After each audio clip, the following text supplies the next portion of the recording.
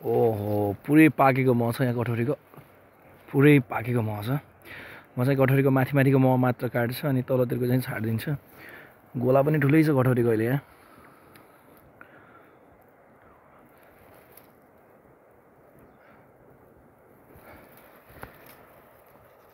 पुरै satisfying honey छ यसमा। म चाहिँ धुवा सुवा केही नलगाइकन हातले नै काटेर लैजान्छु यसलाई यत्तिकै।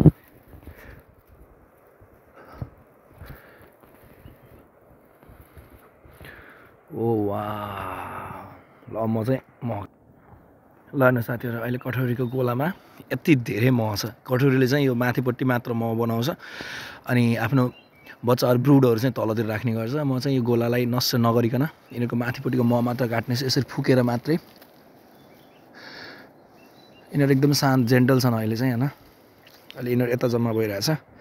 अहिले कठौरीको गोलाबाट चाहिँ यति मह आएको छ भने मैले चाहिँ कठौरीको गोला नष्ट नगरिकन यसरी माथि माथिको मह काटेर नै छाडिदिएको छु। ताकि यिनीहरूको भविष्यको यिनीहरूको तल भएको बच्चाहरू चाहिँ फेरि पूर्ण रूपमा वयस्क बन्न सकुन् र फेरि पनि हामीले अर्को वर्ष यसरी मह खान सकियोस् भनेर चाहिँ म चाहिँ कठौरीलाई नष्ट नगरिकन धुवा नै नलगाइकन यसरी मह काटेको छु। अलिकति म यिनीहरूलाई खानको लागि यसरी यहाँ लिएर अनि यो साइडमा पनि राखिदिएको छु। ताकि यिनीहरू जाडोमा नमरुन् भनेर।